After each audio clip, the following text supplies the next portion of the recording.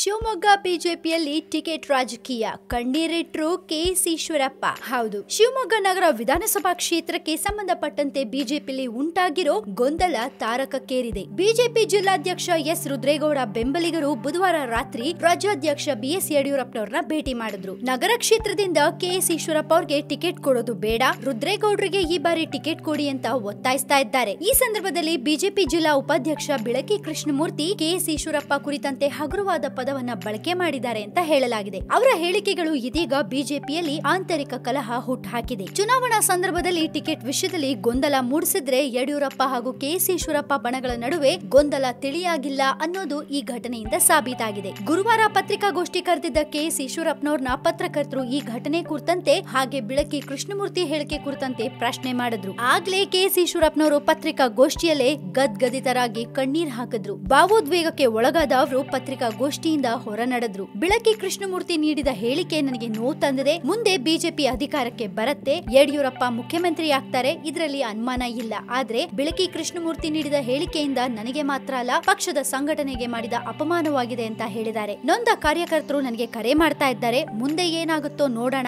ಬಿಳಕಿ ಕೃಷ್ಣಮೂರ್ತಿ ಬಳಸಿದ ಪದ ನಡ್ಕೊಂಡ ರೀತಿ ನನ್ನ ಜೀವನದಲ್ಲಿ ನಿರೀಕ್ಷಣೆ ಮಾಡಿರಲಿಲ್ಲ. ಇದನ್ನ ಯಾರು ಗಮನಿಸ್ತಾರೋ ಕಾದ್ ನೋಡ್ಬೇಕಷ್ಟೇ ಅಂತ ಉತ್ತರಿಸಿ ಈಶ್ವರಪ್ಪನವರು ಹೊರ ನಡೀತಾರೆ